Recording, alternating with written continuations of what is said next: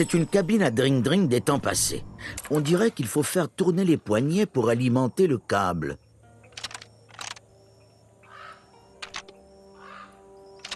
Plus que quelques coups. Ne les gâchez pas. C'est branché et prêt à fonctionner.